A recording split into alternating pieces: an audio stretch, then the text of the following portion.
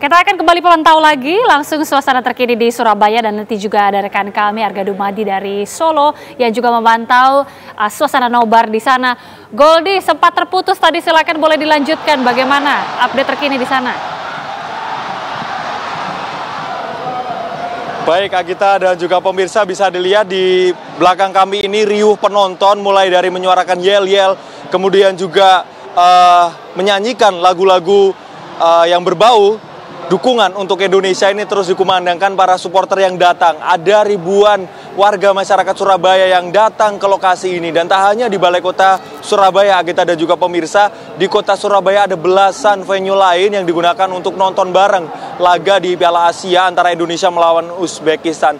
Kemudian juga beberapa warga yang kami wawancarai tadi juga berkeinginan agar Indonesia hari ini bisa menang sehingga mendapatkan tiket untuk lolos ke final dan juga tiket untuk mendapatkan slot di Olimpiade Paris 2024. Selain itu juga uh, ada beberapa keluarga dari pemain yang datang juga Agita dan juga pemirsa dan mereka juga sama-sama dengan jajaran Forkopimda dari masuk kami uh, Forkopimda dari Surabaya ini ikut menyaksikan laga antara Indonesia dan juga Uzbekistan. Kemudian juga rangkaian acara selain nonton bareng yang digelar pada pukul 9 malam, sejak pukul setengah tujuh tadi para supporter maupun masyarakat Surabaya ini berbondong-bondong datang karena selain dari nonton bareng ada juga live musik, ada juga pembagian door prize. Kemudian juga dari pemerintah kota Surabaya ini menyediakan kupon gratis yang disediakan untuk beberapa penonton yang datang duluan untuk membeli makanan karena disediakan UMKM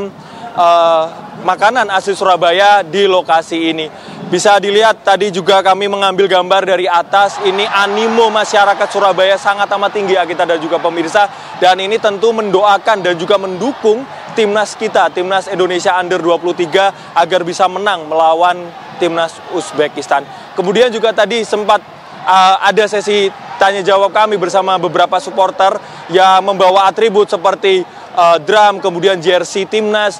Ini mengharapkan sosok-sosok asli uh, gemblengan di Surabaya seperti Rizky Rido maupun Marcelino dan juga uh, kiper dari Persebaya Surabaya yaitu Hernando ini dapat bermain bagus dan juga berharap striker di Indonesia walaupun Rafael Struik nggak bisa main namun juga uh, ada Sananta, ada Hoki maupun Witan dan juga Marcelino diharapkan dapat membuat gol sehingga mengukuhkan kemenangan Indonesia atas Uzbekistan. Kemudian juga bisa dilihat ini animo masyarakat Oke, dapat dilihat suasana yang sangat meriah di Surabaya dan selanjutnya kita akan menuju Arga Dumadi yang berada di Solo, Jawa Tengah. Arga, silakan.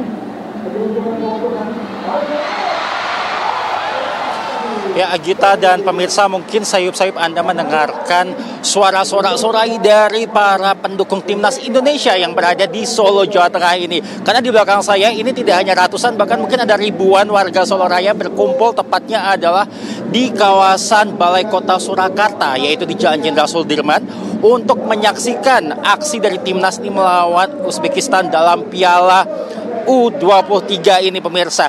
Dan tentu saja memang untuk di lokasi ini sendiri mengingat bahwa lokasi yang digunakan ini adalah di tengah jalan raya yang mana ditempatkan juga adanya videotron ataupun juga giant screen begitu di mana warga jadi bisa menyaksikan dengan antusias maka di lokasi ini ditutup sementara lalu lintasnya tepatnya adalah sejak pukul 8 pagi tadi maksud kami 8 malam tadi hingga kemudian akan ditutup menjelang tengah malam nanti. Ingat bahwa lokasi ini menjadi pusat dari warga Solo Raya menyaksikan aksi dari timnas Indonesia.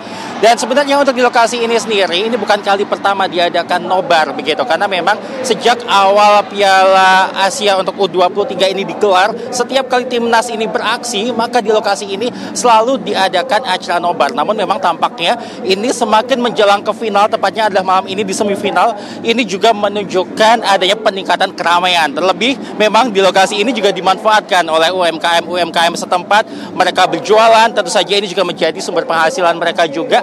Dan dapat Anda saksikan di layar kaca Anda, ini mereka berdesak-desakan begitu pemirsa untuk menyaksikan aksi dari timnas Indonesia berlaga pada malam hari ini. Bahkan di antara mereka kami melihat ada juga tadi yang membawa kembang api, di mana kembang api ini dinyalakan di tengah-tengah acara nonton bareng ini, sehingga membuat acara nonton bareng ini menjadi semakin meriah. Dan ini setiap kali ada pemain Indonesia yang berhasil menggiring bola terlebih bila bola ini sudah sampai mendekati gawang lawan, ini mereka akan berteriak-teriak dan tadi juga mereka begitu antusias untuk meneriakkan yel-yel bernyanyi bersama tentu saja untuk menyemangati tim kebanggaan kita timnas Indonesia dalam beraksi ya sorak-sorai mereka tampaknya ini ini tidak akan habis begitu ya sampai nanti pertandingan ini selesai sekitar pukul 11 atau setengah 12 malam ini nanti. Dan kami kabarkan kepada Anda bahwa di lokasi ini memang sebelumnya tadi sebelum acara nobar ini dimulai sudah cukup ramai. Karena memang ada acara lain yaitu acara gelar tari begitu berkaitan dengan Hari Tari Dunia begitu. Namun acara ini dilanjutkan dengan acara norbar sehingga keramaian ini semakin menjadi-jadi dan kemudian juga untuk acara nobar ini sendiri dihadiri juga oleh Wali Kota Solo yang masih menjabat yaitu Mas Gibran Raka Buming Raka yang juga menjadi wakil presiden terpilih dan juga ada Bapak Sandiaga Uno yang turut hadir.